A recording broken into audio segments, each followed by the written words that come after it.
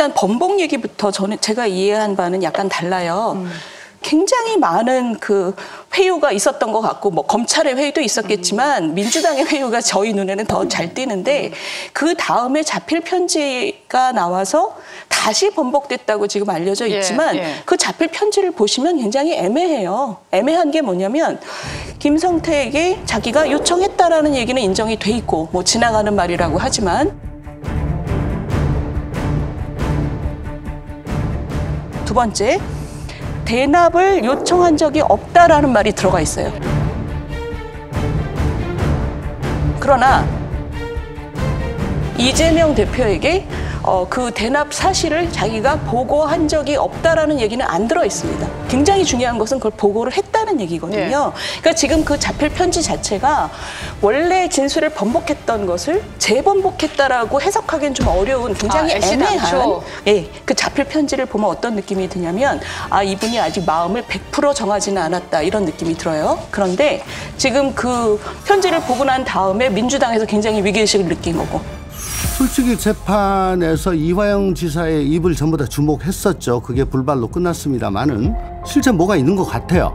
들어서 진술 번복이 실제로 있었다고 보시는 겁니까? 근데 우리 당에서 지금 화들짝 놀라가지고 이렇게 하는 것도 진술 번복 혹은 입장 변화, 심경 변화가 있었기 때문에 저런 것 같고요. 음. 그러니까 그런 거는 있다고 지금 보여집니다.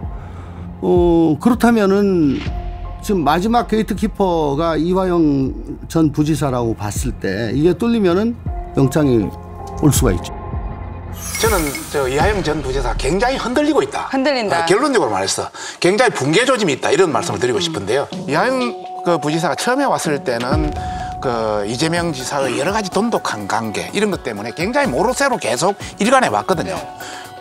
그것이 어느 정도 진행되다가 보니까 여러 가지 김성태 전 회장의 진술이라든지 또 각종 증거라든지 또 뭐 자기 아들에 대한 어떤 구속이라든지 이런 여러 가지 상황을 보고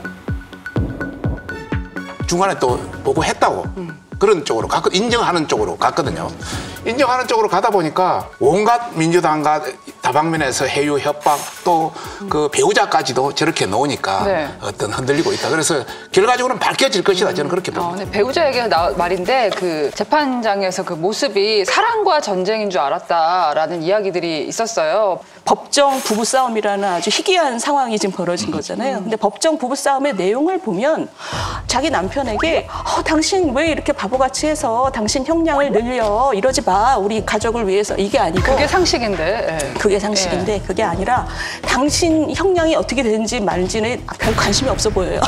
우리 당대표 이름을 왜 여기 집어넣어? 라는 굉장히 그 특이한 상황이에요, 지금. 처음 보는 상황이었어요. 그렇죠. 진짜. 그래서 예. 국민들이 굉장히 놀란 게 저분은 자기 남편을 제일 우선으로 생각하는 게 아니라 당 대표를 제일 우선으로 생각하나? 굉장히 좀 특이한 그 상황이 벌어져 있는 거죠, 지금.